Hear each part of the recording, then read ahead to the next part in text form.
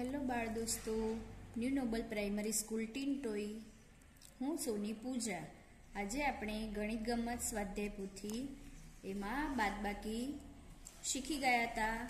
એમાં આગળ સમજીએ. બાદબાકી અને શૂન્ય સમજો. જુઓ. કેટલી ચકલી છે? એક, બે ને ત્રણ. ત્રણમાંથી એક ચકલી ઉડી ગઈ. કેટલી બાકી રહી? બે. એક, બે ચકલી છે. એમાંથી એક ચકલી ઉડી ગઈ. કેટલી બાકી રહી? એક. જો બે ઓછા એક, બરાબર? એક. કેટલી ચકલી છે? એક. એમાંથી એક ઉડી ગઈ તો એકમાંથી બધી ચકલીઓ ઉડી ગઈ. એકમાંથી એક જાય તો શૂન્ય.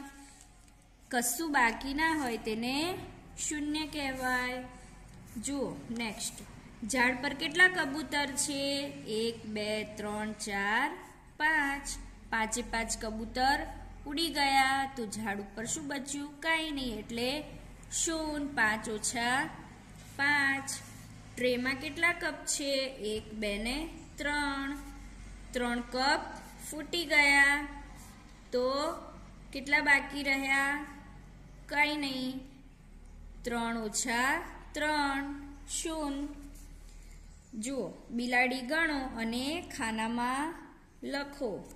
કેટલી બિલાડીઓ છે? એક, બે ને ત્રણ. ત્રણ બિલાડી છે. પછી એક બિલાડી જતી રહી. કેટલી વધી બે. પછી બે હતી, એમાંથી એક જતી રહી. તો કેટલી વધી એક. પછી બધી બિલાડી જતી રહી. ત્રણે ત્રણ બિલાડીમાંથી બધી બિલાડી જતી રહી. તો કેટલી વધી કોઈ નહીં તો શૂન. ચાલો.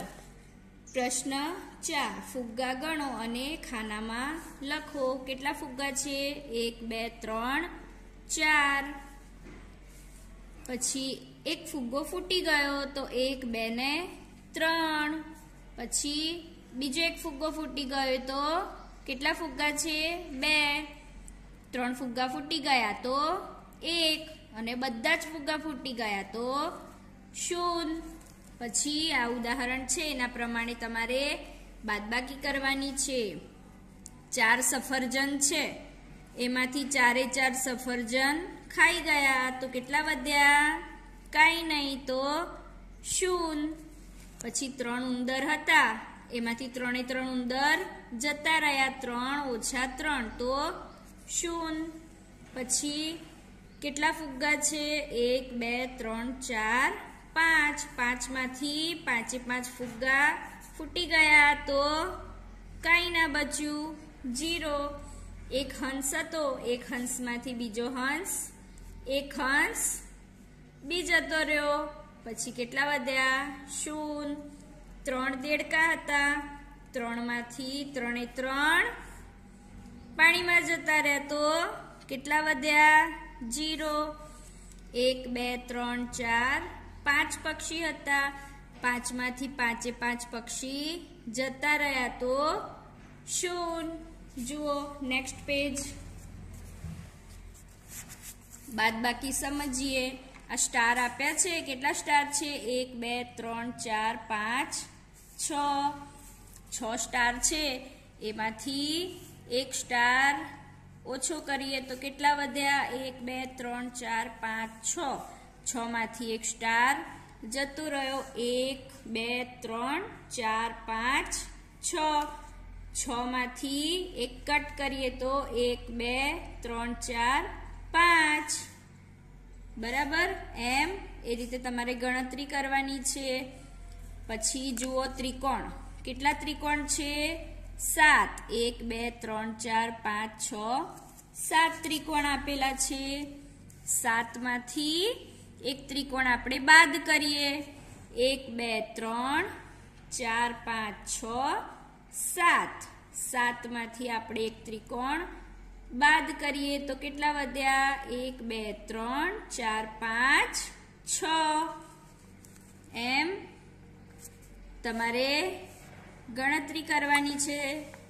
જુઓ, પછી આ એક, બે, ત્રણ, ચાર, પાંચ, છ, સાત, આઠ. આઠ લંબચોરસ આપ્યા છે. એમાંથી આઠમાંથી આપણે એક બાદ કરીએ. તો આઠ ઓછા એક, તો સાત. એ રીતે આઠે આઠ ત્રિકોણ આપણે બાદ કરીએ. આઠમાંથી આઠે આઠ બધા બાદ કરીએ તો કેટલા આવે? જીરો પછી આ લંબગોળ છે, કેટલા આપ્યા છે? એક, બે, ત્રણ, ચાર, પાંચ, છ, સાત, આઠ, નવ. નવ લંબગોળ છે. એમાંથી આપણે એક લંબગોળ બાદ કરીએ. તો નવમાંથી એક લંબગોળ બાદ કર્યું. તો કેટલા વધ્યા? આઠ. એ રીતે એક, બે, ત્રણ, ચાર, પાંચ, છ, સાત, આઠ, નવ. નવમાંથી નવે નવ લંબગોળ આપણે બાદ કરીએ તો કેટલા વધે? શૂન.